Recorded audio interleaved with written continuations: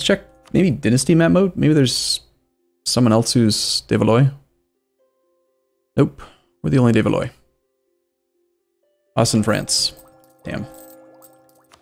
Ally Russia? I mean, yeah, we could we could use Russia. No, Russia's decided to be hostile to us now.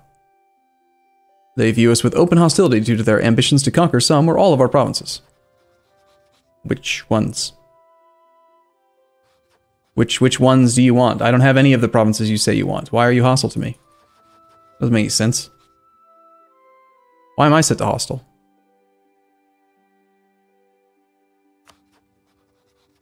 What in the hell? I don't desire anything in their land. Why is it saying that I'm hostile to them? That doesn't make sense. He's in the League War? Well, I'm friendly to him. Russia, we're friends, alright? Just stay friends. Stop being all pissy. Provence is De Valois? Hmm. Truce with the Ottomans is up. That means that they might join a coalition. They hate us. And we have enough aggressive expansion. There is already a coalition of Aragon, Portugal, Akyunlu, Mamluks, that's kind of a big deal. We should probably prevent that from happening if we can.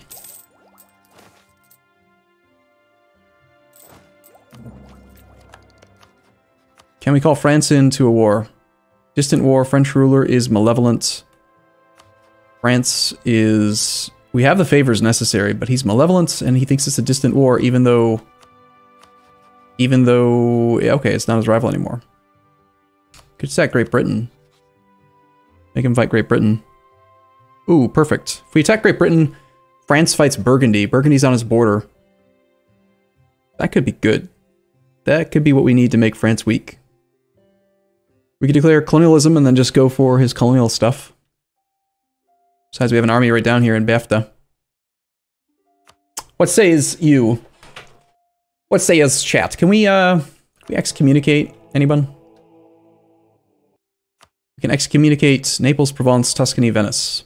Provence, Naples, eh. I was kind of really liking the idea of calling for Crusade on Noop and doing that quickly. I mean, I've already shipped an army down there.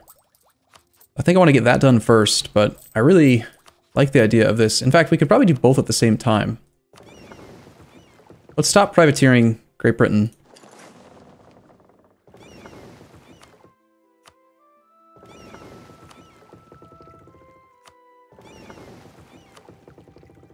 I think I have more ships queued up that might accidentally go there. We got four more that need to finish. So maybe we wait for these ships to complete, and then we can... We can do it. Apparently the Pope would transfer trade power to me. Not gonna say no to that. I mean, why not? Thanks, Pope. Is this multiplayer? No. We're doing single player achievement run. Our colonist is about to arrive, so let's go ahead and call for a crusade against this fella. And here's the thing that you can kind of use to your advantage, is if you're at war with someone who has no allies and you call a crusade against them, then you can, as long as you're at full maintenance, you can get the effects of call for crusade and then just keep the war going.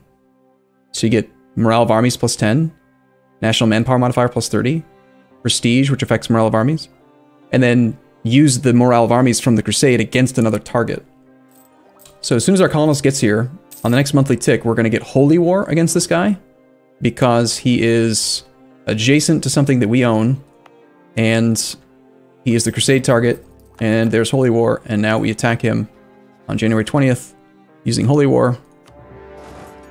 We don't even need to keep the city of Bonnie anymore, I don't think. Pretty sure the achievement or like the uh, the thing will always be there. He even has a mothballed fort. Unfortunately, I didn't time it perfectly and we can't get onto it right away. There's Crusade, so that's cool.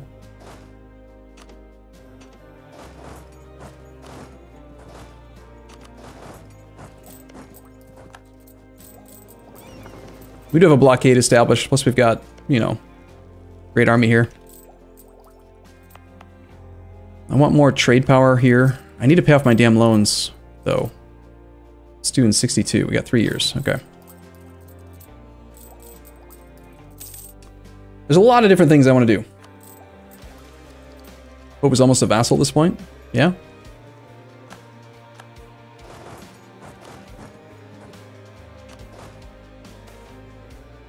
Colonial enthusiasm. That's pretty convenient.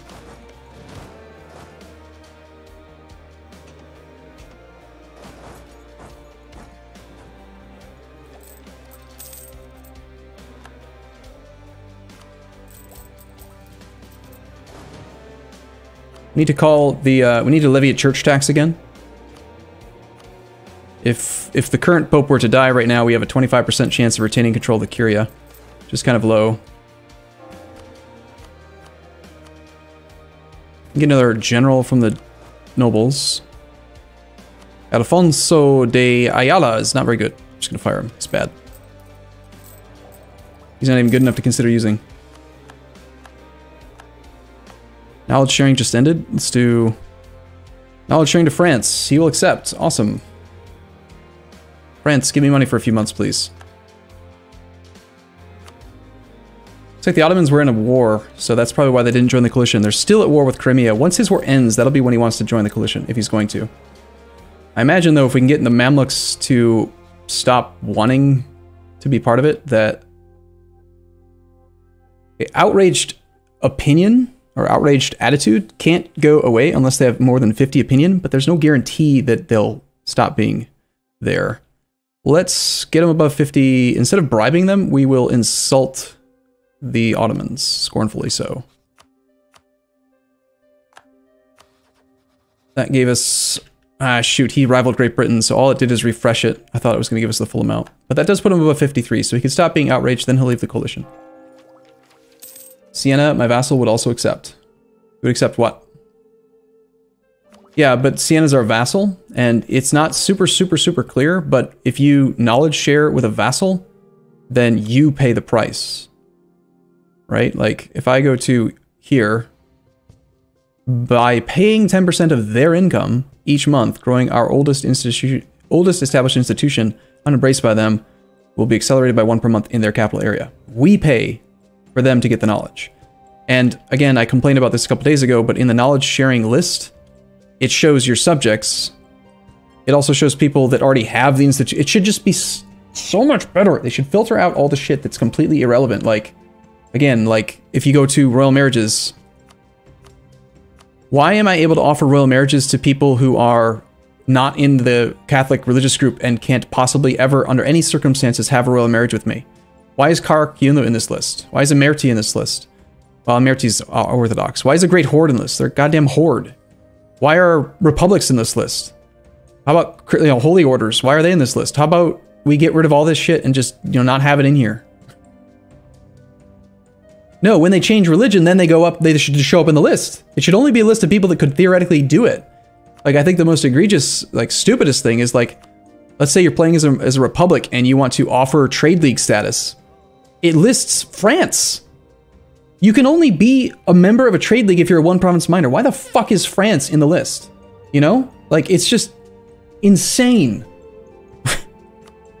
Why do I have the option to excommunicate people who aren't Catholic? Why can I have the option to see where the Ottomans would would you know can I can I can I excommunicate the Ottomans from the Catholic faith? Well, maybe. You see what I mean? It's it's idiotic. It should not be that complicated to, to filter out the people who are ineligible. I mean, I bet you that takes like two hours, three hours tops. Someone who knows the code, knows how to how this list was generated. If I were able to access this shit, I would have fixed it already. It's not difficult. It's it's disappointing that it's that way, honestly. I'm not salty. I am a little bit. You're a lazy colonist. Uh, let's keep on going with Colombia just so that we can get another guy. We got Sardinians, Catalans, Andalusians, Portuguese. Sardinians are not accepted at all. Um, Catalonians are at least part of our primary culture group, so we have cultural union over them, Aragonese, Portuguese, etc. So we'll export the Sardinians. Goodbye, Sardinians. Like, I think Paradox should either either fix this shit or make it something that is open and available for modding so that the modders can can fix it. Either be lazy and let the modders do it or fix it themselves. Don't just make it unmoddable and unfixed, you know? We've been rivaled by Russia. Denmark has no air. Denmark's pretty small, but they had conquered quite a bit of Sweden at one point.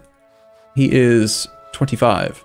We are currently Curia controller and we have a relationship slot free. So there's like no reason to not um, try to fish for this.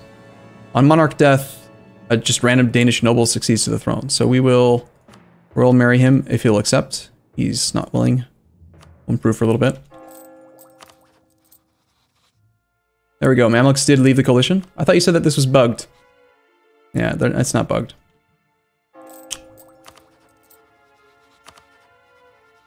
No one else has a potential thing. I need to expel all of the Andalusian culture. Oh, sure, I'll do that. I'm just saying, like, my my logic on how I choose which one to expel is based on accepted cultures. Now that we have no other people that are of a different group, we will continue to expel everyone else. It just makes more sense to start with the Sardinians, right? Because our Sardinian, Sardinians are not accepted. So we have tax penalty, missionary penalty, manpower penalty, sailors penalty, increased unrest, etc. You know me saying? I think you do. I think you know me saying we can't lower autonomy while at war. Derp. Can we please have siege? I should have I should have paid attention to the fact that this thing was uh Yeah. I think we'll just take all of his land and then declare another crusade target.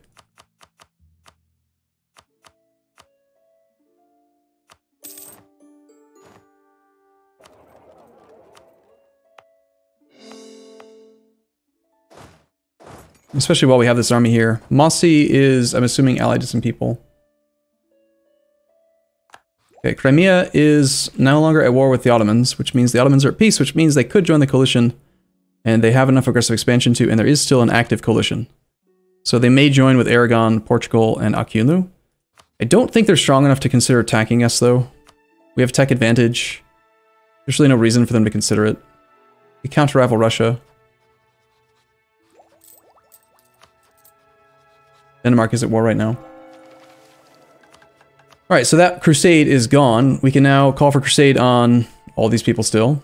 I'm, I'm leaning toward continuing to call for crusade on these guys. So like, we do the same thing down here in Loango. He has no allies. We colonize adjacent to him, and then we call for crusade. Let's pull the guy back from uh, from here. We're paying a bit, eh, just a tiny bit of excess colonies. That's fine. Let's do that start the colony here.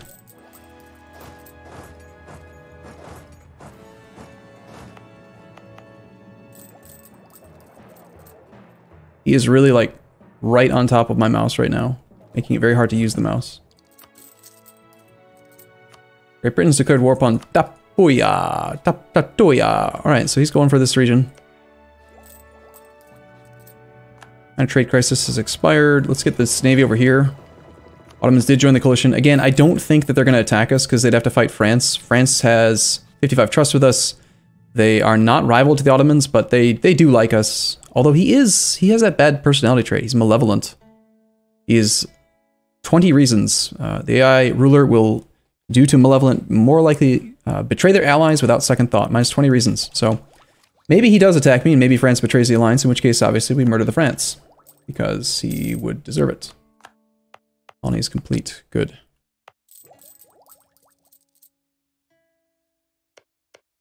In 53 days, we get here. Let's go ahead and pre-excommunicate, uh, not excommunicate.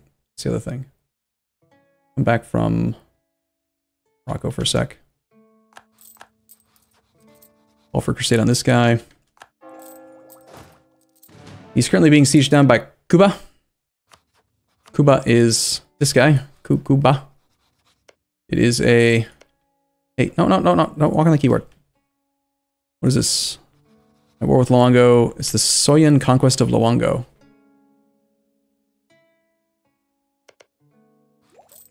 Hmm. Crap. Did I just call for Crusade already? I did. Kuba, are you to full annex him? How are the leagues doing? It seems to me like the Ooh, Russia joined the Protestant League. So we've got some big boys in there now. We've got Great Britain, Ottomans, and Russia versus my side, but we don't have France. France is still sitting on the edge. Sweden also joined. Nope, that's Munster. Sweden's on our side. We could declare this war just so that we have the crusade effect. Um, I don't care about claim strength on Alfonso. He's probably not going to live.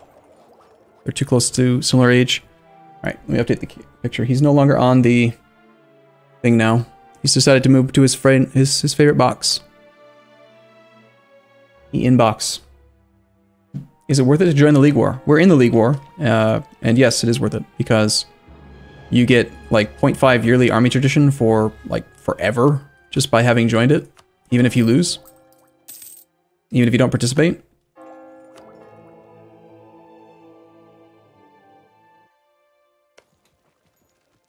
Okay, I want to wait and see what this guy does. I honestly don't really want to deal with rebels here, so even though this is trade company stuff, I'm just going to raise autonomy.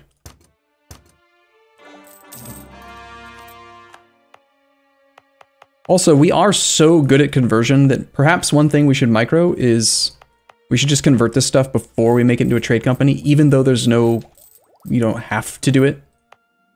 Just do it for the extra papal influence. You can't convert it after you add it to the trade company, though. And it's very easy to forget and accidentally add them. And we get a murder the face emote. Murder the face. That's probably something I've said in the past, but I can't think of the context for why I would have said it.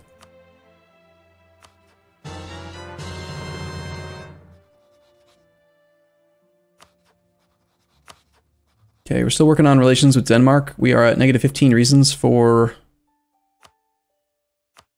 uh, I'll pay 69 ducats to influence him. Theoretically trying to get a union over him. Or get him, get our dynasty on there. Kingdom of David campaign? You really liked murdering people and their faces. Oh. That's probably a while back then. Take it. Damn it. I find it sort of odd that we are not getting this yet. Strongest trade power in Sevilla. Sevilla is the highest valued trade node in the world. It is definitely up there. What else could possibly be higher? I don't know, I can't think of anything else. What was else, what was at the bottom of the mission? Expand overseas. I should try to finish doing that. Looks like we're about to get our second colonial nation now.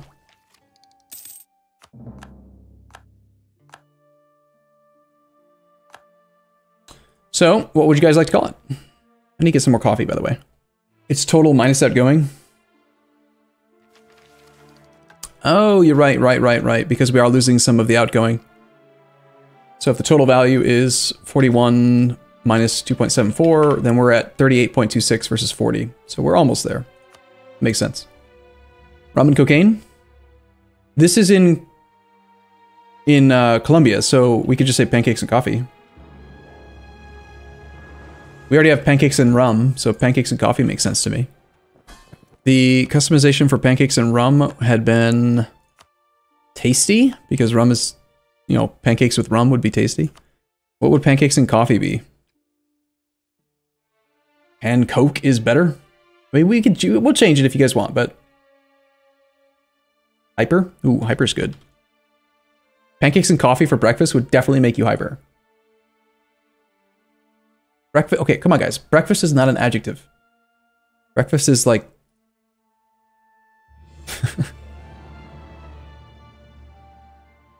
I'm just gonna stick with pancakes and coffee because I kind of like the theme. It's nice. Okay, we have a lazy colonist. Um, I want to get the 10th colony over here. One, two, three, four, five, six, seven. I need three more, but I also kind of want to just get five things here so we can do this expand overseas mission for the trade efficiency and global trade modifier for a while before we become Spain. And the easiest way to do that is just to fill in a few more of these these things rather than try to conquer land from Kilwa. Wait, Loango is 100% occupied, so hopefully we get a peace deal here. If he stops being a thing, he's not. We can declare holy war. Go.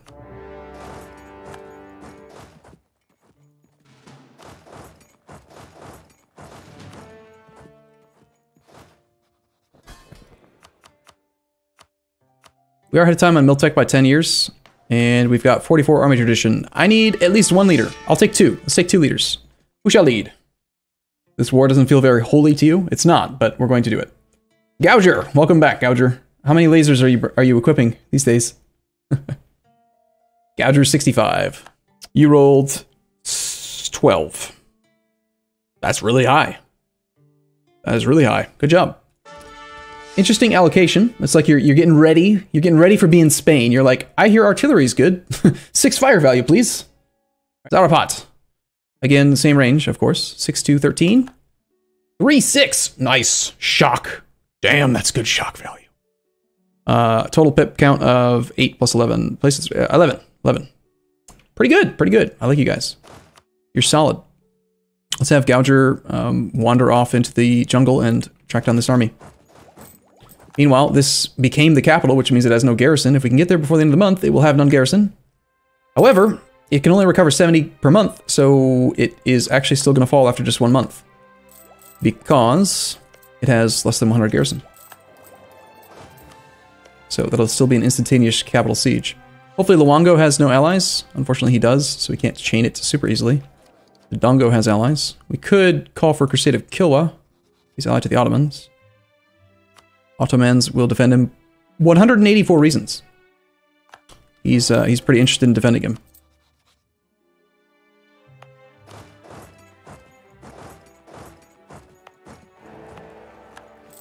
New Emperor.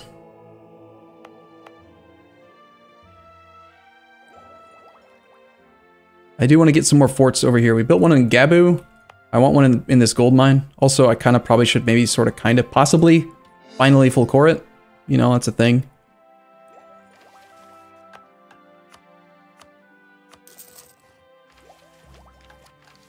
Any other things that I've forgotten to core? Midja. And these two things down there. We'll do Midja. Of course, now I have no Ebon points for future conquests and holy wars, but Oops. It happens.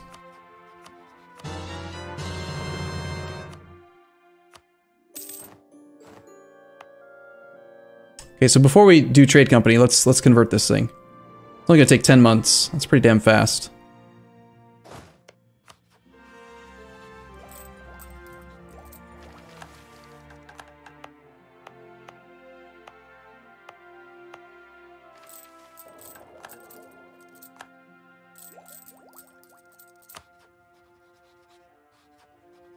Denmark still has no heir.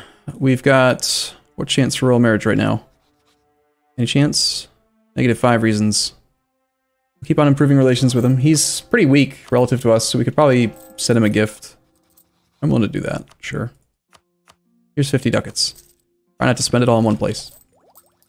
Still have one loan to pay off, 500 ducats roughly.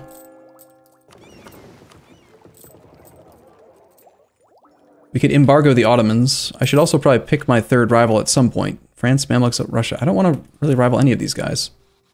Unfortunately, Russia already rivaled us, so... I'd rather support Russia against the Ottomans, personally, but...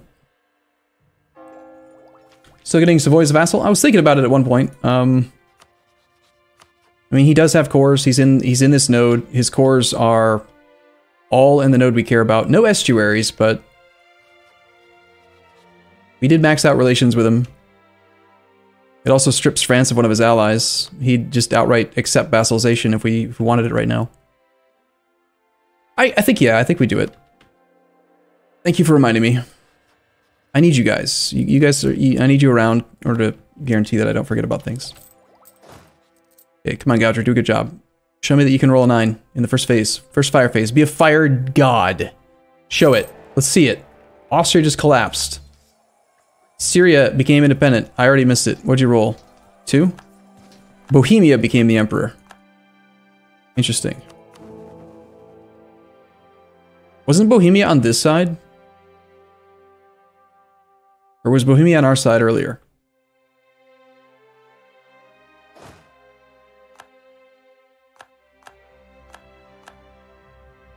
So Styria just broke free from Austria.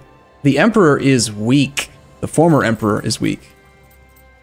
Might as well improve relations with the new emperor. He was on Catholic side? Okay. Remember why France owned our lands? Because we were friends with him and we needed their help to fight Aragon, and then he kind of stole some land from me. And we're gonna engineer his death soon. Luba Cuba. Well, we could just... Why don't we just Holy War? Soyo.